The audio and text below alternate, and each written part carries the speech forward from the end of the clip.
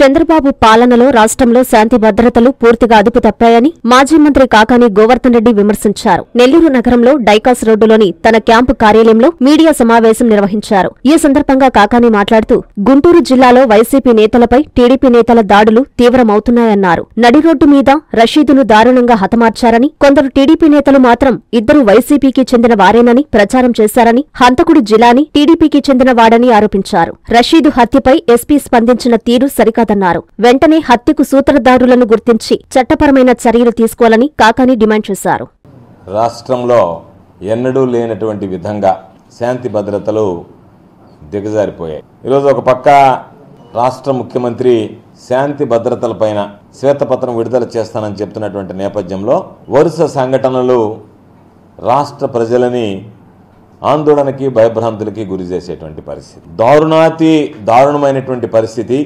హృదయ విదారకమైనటువంటి సంఘటన చూస్తే తట్టుకోలేకపోయేటువంటి పరిస్థితి నిన్న వినుకొండలో జరిగినటువంటి రషీద్ని హత్య చేసినటువంటి విధానం. అంటే బహుశా సభ్య సమాజం తలదించుకునేటువంటి విధంగా ఎవరు ఏమీ చెయ్యలేరనేటువంటి ధీమా ధైర్యం ఏ స్థాయిలో ఉంటే నిన్న రషీద్ అనేటువంటి వ్యక్తిని తెలుగుదేశం పార్టీకి సంబంధించినటువంటి జిలాని అనేటువంటి నాయకుడు హత్య చేశాడనేటువంటిది మనందరం చూసాం ఆ వీడియో చూస్తేనే దాదాపుగా ఒక మానవ సంబంధాలు మానవత్వం కలిగినటువంటి వ్యక్తులు ఎంతగా రోధించారో చెప్పలేనటువంటి పరిస్థితి. అయితే ఒక పక్క జగన్ గారు కూడా వెంటనే చెలించిపోయాడు.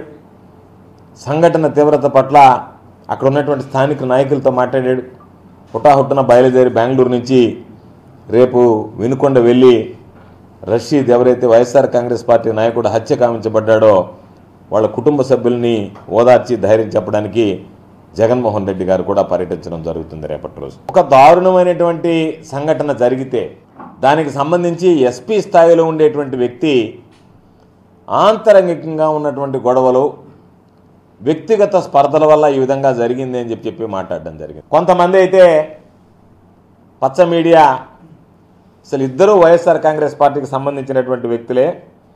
కాబట్టి ఇద్దరు వైఎస్ఆర్ కాంగ్రెస్ పార్టీకి సంబంధించినటువంటి వ్యక్తులు కాబట్టే అది జరిగింది తప్ప అతనికి తెలుగుదేశం పార్టీ వ్యక్తి కాదు ఆ హత్య చేసినటువంటి వాడు అన్నాడు. స్పష్టమైనటువంటి ఆధారాలు ఉన్నాయి. ఆ వ్యక్తి ఎవరైతే హత్య చేశాడో జిలాని అనేటువంటి వ్యక్తి అతను తెలుగుదేశం పార్టీకి సంబంధించినటువంటి వ్యక్తి.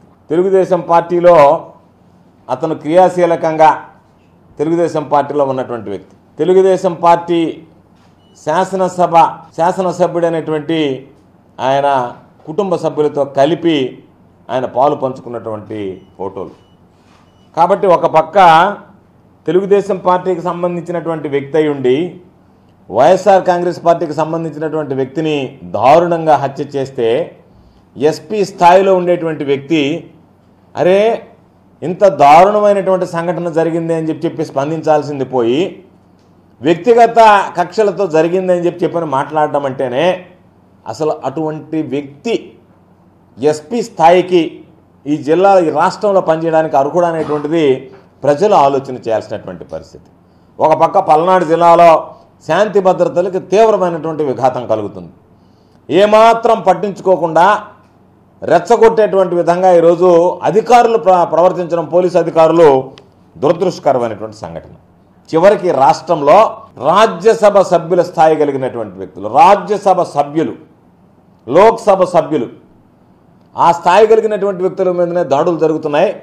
సాక్షాత్ ఈరోజు రాజంపేట లోక్సభ సభ్యుడైనటువంటి మిథున్ రెడ్డి గారు పొంగనూరుకు వెళితే అక్కడ ఉన్నటువంటి మాజీ లోక్సభ సభ్యుడు రెడ్డప్ప ఇంటికి వెళితే ఒక మాజీ లోక్సభ సభ్యుడి ఇంటికి ప్రస్తుత లోక్సభ సభ్యుడు వెళ్ళి పొంగనూరులో జరిగినటువంటి దాడులకు సంబంధించినటువంటి బాధితులతో మాట్లాడుతూ ఉంటే నువ్వు పొంగనూరు రావడానికే వీలు లేదు అని చెప్పి చెప్పని వెంటనే తెలుగుదేశం పార్టీకి సంబంధించినటువంటి వ్యక్తులు ఈరోజు అక్కడ వాళ్ళ మీద నేరుగా దాడి చేయడం జరిగింది.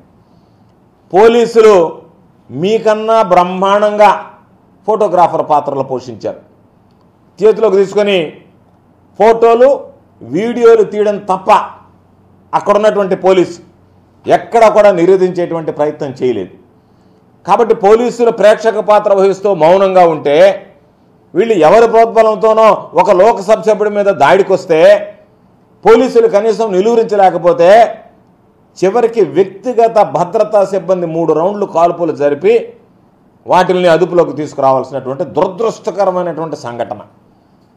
అంటే ఒక లోక్సభ సభ్యుడు ప్రజాప్రతినిధి తనకు సంబంధించినటువంటి ప్రాంతాలకు ఎక్కడికి వెళ్ళడానికి లేదా ఎవరిని పరామర్శించడానికి లేదా గ్రామాల్లో పర్యటించడానికి లేదా ఇదే రకమైనటువంటి పరిస్థితులు ఎదురైతే ప్రభుత్వాలు మారినప్పుడు అసలు ప్రతిపక్షానికి సంబంధించినటువంటి వ్యక్తులు పర్యటించగలరా ఎక్కడన్నా ప్రజల్లో తిరగగలరా?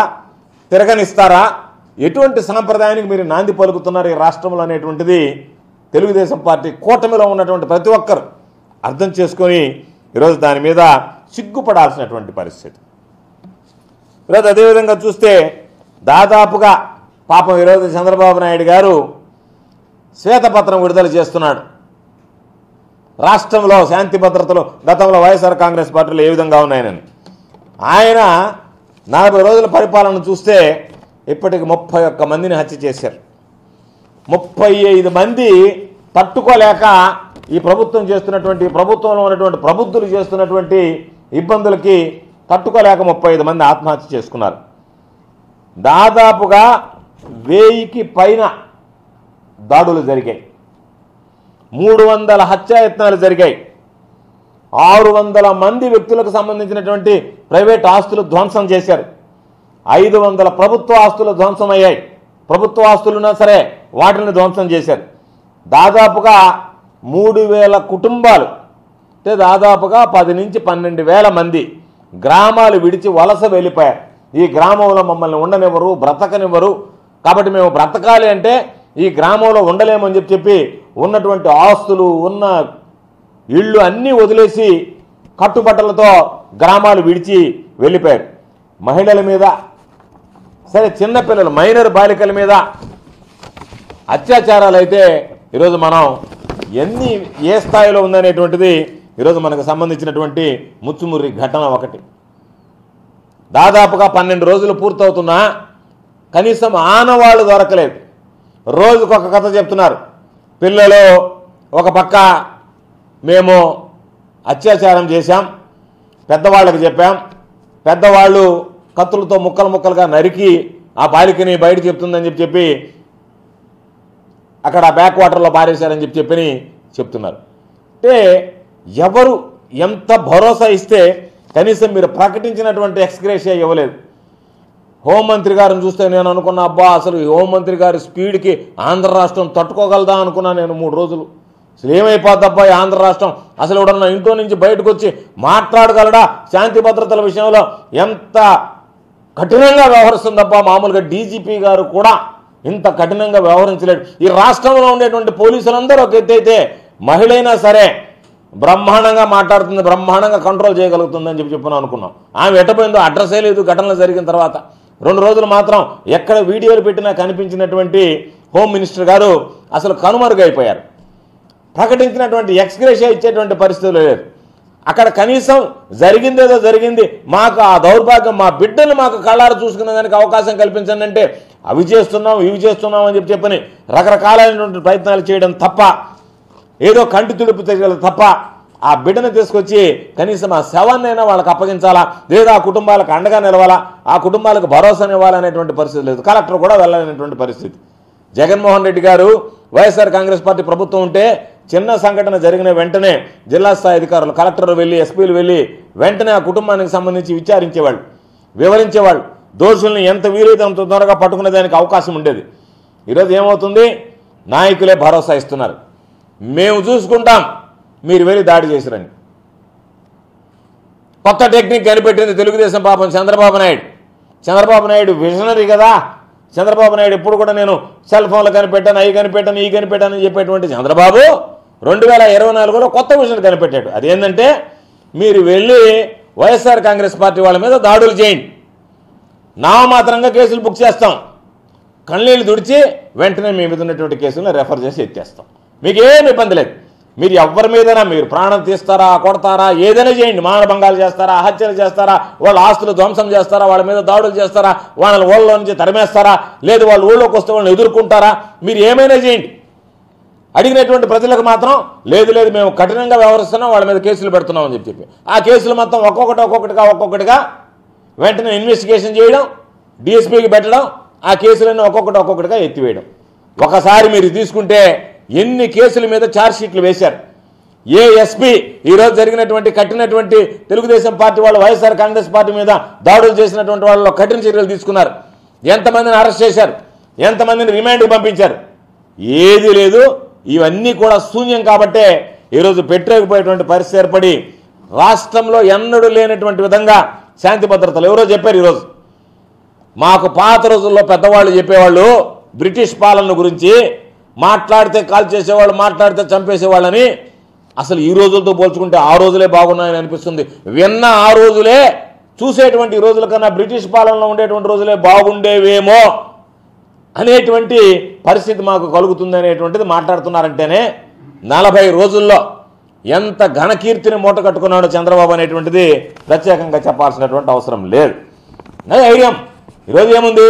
ఏది ఏమైనా కానీ కేంద్రం జోక్యం చేసుకోదు. ఎందుకంటే కేంద్రంతో మాకు అపారమైనటువంటి పరిచయాలు ఉన్నాయి. కేంద్ర ప్రభుత్వమే మా వల్ల నిలబడింది కాబట్టి ఎట్టా ఎన్ని అవాంఛనీయ సంఘటనలు జరిగినా ఎంత శాంతి భద్రతలకు విఘాతం కలిగినా రాష్ట్రపతి పాలన లాంటివి విధించేటువంటి అవకాశం లేదు. కాబట్టి మేము ఎవరికీ భయపడాల్సినటువంటి పని లేదు. మేము ఏది చెప్తే అది జరగాల? మేము వైఎస్ఆర్ కాంగ్రెస్ పార్టీని తుదముట్టించాలా? తుదముట్టించాలి అంటే వైఎస్ఆర్ కాంగ్రెస్ పార్టీ నాయకులని ఈరోజు ఏరిపారేయాలా? వాళ్ళని తీసేస్తే వాళ్ళని చంపేస్తే వైఎస్ఆర్ కాంగ్రెస్ పార్టీకి సంబంధించి బలమైనటువంటి నాయకత్వం లేకుండా పోతుంది అనేటువంటి ఒక దుర్మార్గమైనటువంటి ఆలోచన. నాకు భయం వేస్తుంది ఈరోజు. ఎందుకంటే తెలుగుదేశం పార్టీ నేను చాలా చెప్పా ఎన్ని అత్యాచారాలు జరిగాయి ఎంతమంది ఆస్తులు దాడులు జరిగాయి ఎంతమంది చచ్చిపోయారు ఎంతమంది ఊళ్ళు వదిలిపోయారని. బహుశా ఈరోజు ఆయన శ్వేతపత్రంలో ఇప్పటివరకు ఇచ్చినటువంటి ప్రతి శ్వేతపత్రం అబద్ధమే. ఈ కూడా కలుపుతాడేమో పాప. ఆయన నలభై రోజుల్లో జరిగినటువంటి ఈ ఘనకార్యాలన్నీ కూడా కలిపి ఇదిగో ఇన్ని జరిగాయని చెప్పి శ్వేతపత్రం విడుదల చేస్తాడేమని నాకున్నటువంటి అనుమానం. ఎందుకంటే వైఎస్ఆర్ కాంగ్రెస్ పార్టీలో శాంతి భద్రత ఎవరిని అడిగినా చెప్పండి. మేము చెప్పడం కాదు. సాధారణ ప్రజానీకాన్ని అడగండి. ఈ నలభై రోజుల పరిపాలన చూసిన తర్వాత వైఎస్ఆర్ కాంగ్రెస్ పార్టీలో పరిస్థితులు ఎంత దారుణంగా ఉన్నాయా? మనమే గమనిస్తాం. ఏ రోజైనా సరే ఒకటే అలా సంఘటనలు జరిగితే పాపం పవన్ కళ్యాణ్ గారు చెప్పారు ఈ ప్రభుత్వం లాగా ఉండదు మా ప్రభుత్వం. ఆడపిల్లల్ని చూడాలంటేనే భయపడేటువంటి పరిస్థితి తీసుకొస్తాం అనుకున్నారు. అబ్బా అసలు మామూలుగా నేను అనుకున్నా దారిన పోవాలన్నా కూడా మగవాడు ఆడపిల్ల ఎదురైతే పక్కకి వెళ్ళిపోతాడేమో పవన్ కళ్యాణ్ ఉప ముఖ్యమంత్రి అయిపోయాడు కదా పాపం అంత గట్టిగా మాట్లాడాడు కదా అనుకున్నాం. నిన్న ఆయన ఇంగ్లీష్లో చెప్పాడు చట్టము న్యాయం అన్నీ ఉన్నాయి కాబట్టి కొన్ని నియమితులు పరిమితులు ఉన్నాయి కాబట్టి వాటిని మించి ఏమి చేయలేము మొన్నటిదాకా నువ్వే ఏ నోటితో అయితే చూస్తే భయపడిపోవాలా మమ్మల్ని చూస్తే మా ప్రభుత్వం మా పరిపాలనలో ఆడవాళ్ళని చూస్తే అన్నటువంటివి నియమితులు ఉంటాయి పరిమితులు ఉంటాయని చెప్పి చెప్పి ఈరోజు బాలిక పన్నెండు రోజులు దాటిపోతే దాని గురించి మాట్లాడటం లేదు. ఎంతమంది మీద అత్యాచారాలు జరుగుతున్నాయి? ఫోను వా సెల్ ఫోన్ తీస్తే సోషల్ మీడియాలో కానీ న్యూస్ ఛానల్స్ పెడితే భయం ఏంటంటే అత్యాచారమే. మైనర్ బాలికల మీద అత్యాచారం. ఎన్నడూ లేనటువంటి సంస్కృతి. ఒక విశ్వ సంస్కృతిని ఈరోజు తెలుగుదేశం పార్టీ ప్రభుత్వం కూటమి ప్రభుత్వం ఆంధ్ర రాష్ట్రంలో ప్రవేశపెట్టిందని చెప్పి చెప్పి ఈ సందర్భంగా తెలియజేస్తున్నాను. కాబట్టి ఈ నలభై రోజుల్లోనే ప్రజల్లో ఈ ప్రభుత్వం అనుసరిస్తున్నటువంటి విధానాలు శాంతి భద్రతల విఘాతం పట్ల తీవ్రమైనటువంటి ప్రజా వ్యతిరేకత ఉంది. కాబట్టి ఇటువంటి సందర్భంలో తెలుగుదేశం పార్టీ గేమ్ ప్లాన్ ఏదో ఒక విధంగా భయపెడితే వైఎస్ఆర్ కాంగ్రెస్ పార్టీకి సంబంధించినటువంటి వ్యక్తులు బయటకు రారు. వైఎస్ఆర్ కాంగ్రెస్ పార్టీ నిర్వీర్యమైపోతుంది అనుకున్నారు. నేను మరలా చెప్తున్నాం వైఎస్ఆర్ కాంగ్రెస్ పార్టీ శ్రేణులు ధైర్యంగా ఉండండి. మనం ఒక నిర్ణయం తీసుకొని మనం కనుక రోడ్డు మీదకి రావడం మొదలు పెడితే ప్రజల మద్దతు మనకు తోడైతే ఎస్ ఈ ప్రభుత్వం అన్యాయం చేస్తుందని చెప్పి చంద్రబాబు నాయుడు లాంటి వ్యక్తి ఈరోజు ముఖ్యమంత్రిగా ఉన్నా సరే తిరగలేనటువంటి పరిస్థితులు వస్తాయి. ప్రజల్లో వ్యతిరేకత వస్తే ఆ వ్యతిరేకత పెళ్ళుబుకితే దారుణమైనటువంటి పరిస్థితులు ప్రజల నుంచి చవిచూడాల్సి వస్తుంది. ప్రజలు ఏ విధంగా నీకు ఓట్లు వేసి ఆదరించారో ఇదే పందాలో కొనసాగితే నిన్న రషీద్ జరిగినటువంటి కడుపు తరుక్కుపోయేటువంటి హత్యలను ప్రజలు చూస్తే ఈ ప్రభుత్వాన్ని ఇటువంటి హత్యలను ప్రోత్సహిస్తుందంటే ప్రజలు ఇటువంటి ప్రభుత్వాన్ని సహించరు. చంద్రబాబు నాయుడు నాయకత్వాన్ని ఎంత త్వరగా వీలు వీలైతే అంత త్వరగా వదిలిపెట్టాలనుకుంటారు. ఈ రాష్ట్రం అగ్నిగుండంగా మారుతుంది. ఈ రాష్ట్రంలో శాంతి భద్రతల సమస్యలు వస్తాయి. రాష్ట్రంలో ఉండేటువంటి ప్రజలు తిరగబడతారు. కాబట్టి అటువంటి పరిస్థితులు వచ్చే ముందే మేము హెచ్చరిస్తున్నాం ఈ ప్రభుత్వాన్ని. ఇప్పటికైనా సరే కేవలం సూత్రధారులుగా ఉండేటువంటి వ్యక్తుల్ని ఎవరు అనేటువంటి కనిపెట్టండి. పాత్రదారులుగా నిన్న ఒక పిల్లవాడు వచ్చి హత్య చేశాడంటే ఆయన తీసుకెళ్ళి రిమైండ్ చేయడం ఆయన పంపించేశామో ఆ తర్వాత కేసుని ఏదో విధంగా నీరు కారదాం అనేటువంటిది కాకుండా ఒక బలమైనటువంటి హత్య చేతులతో సహా నరికి పారేసినటువంటి హత్య. చేతుల పాపం చూస్తే హృదయ విదారకంగా చెయ్యి నరికి చెయ్యి అక్కడ పడిపోతే చెయ్యి అడ్డం పెడితే చెయ్యిని నరికేస్తే కొబ్బరి బొండాలు నడిపేటువంటి నరికేటువంటి కత్తితో తలని కొబ్బరి బొండం లాగా నరికేటువంటి పరిస్థితి ఏర్పడితే హృదయ విదారకమైనటువంటి సంఘటనలు జరిగితే వాటి మీద ఈ ప్రభుత్వం దీని వెనక ఎంత ధైర్యం ఉంటే ఈ పాత్రదారు వచ్చాడంటే దాని వెనక సూత్రధారులు ఎవరున్నారు? ఆ సూత్రధారులందరినీ కనిపెట్టి వాళ్ళందరి మీద కూడా కనుక చర్యలు తీసుకోవడం ప్రారంభిస్తే తప్ప ఈ విష సంస్కృతి అనేటువంటిది ఆంధ్ర రాష్ట్రాన్ని విడిచిపెట్టదు. ఇది తీవ్రమైనటువంటి రూపం దాల్చేటువంటి పరిస్థితి ఏర్పడుతుంది. బహుశా నాకు తెలిసి ఆంధ్ర రాష్ట్ర చరిత్రలో ఎన్నడూ లేనటువంటి విధంగా పాపం చంద్రబాబు నాయుడు గారు చెప్తూ ఉంటే పవన్ కళ్యాణ్ గారు చెప్తూ ఉంటే బీజేపీ నాయకులు చెప్తుంటే ఎన్నడూ చూడనటువంటి పాలన చూస్తారు మీరు అనంటే మేము ఏదో బ్రహ్మాండమైనటువంటి పాలన ఇస్తాము వాళ్ళు ఇటువంటి పాలన ఇస్తారు అనుకోలేదు. ఎందుకంటే ఇటువంటి పాలన ఎన్నడూ చూడలేదు. ఇంత దరిద్రమైనటువంటి పాలన ఇంత భయంకరమైనటువంటి పాలన ఈ విధంగా ప్రజల మీద దాడులు చేసేటువంటి పాలన ప్రజలను హత్య చేసేటువంటి పాలన శాంతి భద్రతలు మృగ్యం శూన్యం అనేటువంటి పాలన ప్రజాప్రతినిధులు కూడా తిరగడానికి లేదు ప్రజలు అనేటువంటి పాలన ఎన్నడూ చూడలేదు. కాబట్టి అటువంటి పాలనకు నాంది పలికారు.